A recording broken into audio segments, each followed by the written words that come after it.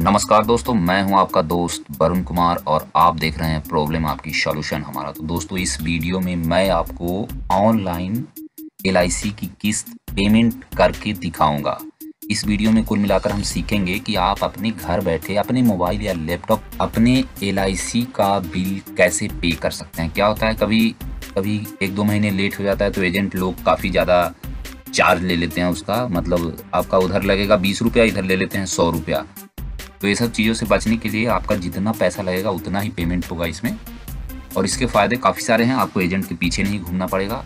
First class आप अपना bill online घर बैठे अपने मोबाइल से या पीसी से कर सकते हैं, अपने एटीएम कार्ड से। कोई इंटरनेट बैंकिंग की भी ज़रूरत नहीं है इसके लिए, अपने एटीएम कार्ड से आप अपने एल की प्रीमियम पे कर सकते हैं। तो बहुत ही आसान है दोस्तों। तो मैं इस वीडियो में आपको अच्छी तरीके से सिखाऊँगा कि आप एलआईसी का प्रीमियम अपने मोबाइल से कैसे कर सकते हैं? तो मैं आपको लैपटॉप में करके दिखाऊँगा। सेम कार्रवाई आप मोबाइल में भी कर सकते हैं। तो आपने अपने मोबाइल या पीसी में गूगल क्रोम खोलना है सबसे पहले। उसके बाद आपने गूगल क्रोम खोल के इसमें गूगल सर्च करना है, ठीक है? डायरेक्ट गूगल में यदि नहीं खुलता है आपका तो इसमें जाके आपने फ़र्स्ट क्लास पर सर्च मारेंगे तो आपके सामने गूगल इंडिया आएगा, उस पर आपने क्लिक कर देना है। गूगल इंडिया पे जाना है। और यहाँ पे आपने सर्च करना है। LIC ऑनलाइन पेमेंट करके आपने सर्च कर देना है। और ये फ़र्स्ट वाली यहाँ पे भी कर सकते हैं आप, पे प्रीमियम ऑनलाइन लाइफ इंश्योरेंस, और यहाँ पे भी कर सकते हैं। तो आप किसी पे भी करिए, यही साइट खुलेगी। फ़र्स्ट वाले पे मैंने क्लिक किया। तो देखिए, आपके सामने ऐसा खुलेगा, ठीक है? तो आपने क्या करना है इसमें? तो उसके बाद आपने pay premium through e service पे क्लिक कर देना। यहाँ पे क्लिक करेंगे तो आपके सामने ये दो ऑप्शन खुलेंगे न्यू यूज़र रजिस्टर्ड यूज़र तो आप यहाँ न्यू यूज़र पे क्लिक करेंगे क्योंकि आप पहली बार यदि पे कर रहे हैं। तो तो आपने न्यू यूज़र पे क्लिक करना है तो आपके सामने थोड़ी देर बाद ऐसे खुल जाएगा। तो आपने इधर कुछ नहीं करना है, यहाँ प्रोसीड करना है। पे डायरेक्ट नहीं करना है आपने। पे डायरेक्ट करेंगे तो उसमें आपको थोड़ी सी वैसे पे डायरेक्ट भी हो जाता है। लेकिन उसमें थोड़ा आपको अच्छे से पता नहीं चलेगा। तो आपने क्या करना है? यहाँ प्रोसीड पे क्लिक करना है और इसमें अपना policy number date of birth जो आपकी पॉलिसी में है, यहाँ पे ईमेल आईडी नंबर आपकी जो ईमेल आईडी है, उसके बाद नीचे PAN card number passport number भरने की ज़रूरत नहीं है। यहाँ पे आपने आधार कार्ड नंबर भरना है, यहाँ पे मोबाइल नंबर आपने ज़रूर डालना है और यहाँ पे आपने अमाउंट डालना है, ठीक है? कि आपका कितना अमाउंट है? पर मंथ या पर क्वार्टर ऐसे करके जो भी अमाउंट आप पे करते हैं, वो आपने डालना है। जैसे आप साल में एक बार करते हैं पेमेंट तो जो साल में एक बार पेमेंट करते हैं, वो डालनी है यहाँ पे।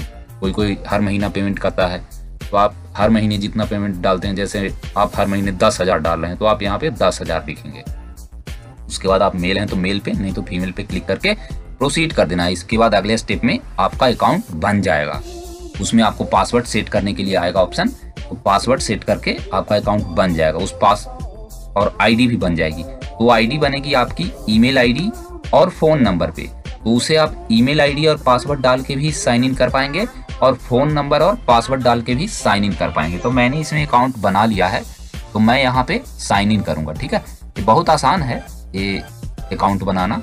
मेरे पास दूसरा आईडी है नहीं नहीं तो मैं आपको बना के भी दिखा देता। बहुत ही सिंपल है, इसके आगे दो स्टेप और रहेंगे।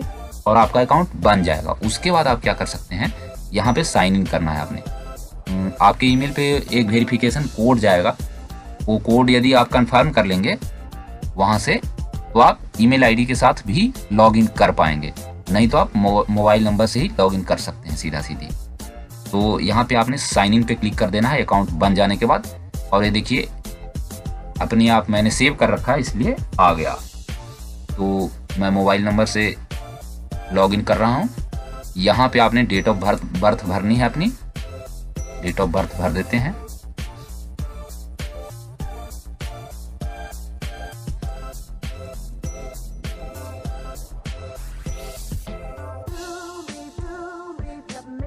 तो यहाँ पे आपने ईमेल आईडी या फ़ोन नंबर यहाँ पे जो पासवर्ड आपने सेट किया है, और यहाँ पे डेट ऑफ़ बर्थ डाल के और साइन इन कर देना है, ठीक है? साइन इन कर दिया तो एक अलर्ट बताएगा और इसको ओके कर दीजिए तो आपकी आईडी खुल जाएगी। ये देखिए फ़र्स्ट क्लास मेरी आईडी खुल गई है। अब इसमें काफ़ी सारे आपको सुविधाएँ मिल जाती है। तो मैं इसमें सिर्फ़ आपको पेमेंट करने के लिए बताऊँगा। तो बेसिक सर्विस जो है बेसिक सर्विस पे जैसे ही आप कर्सर ले जाएँगे तो आपके दाहिने साइड खुल जाएँगे कई सारे। तो बाकी चीज़ों का मैं नहीं बताऊँगा। यहाँ से आप पेमेंट रिसीव देख सकते हैं पुराने वाले। बाकी यहाँ से प्रीमियम कैलेंडर वगैरह है। तो लोन स्टेटस ये सब है तो हम इसमें सिर्फ़ बात कर रहे हैं पे करने के लिए। तो पे ऑनलाइन पे आपने क्लिक करना है। पे ऑनलाइन पे क्लिक किया, उसके बाद आपने रिन्यूअल प्रीमियम पे क्लिक कर देना है, ठीक है?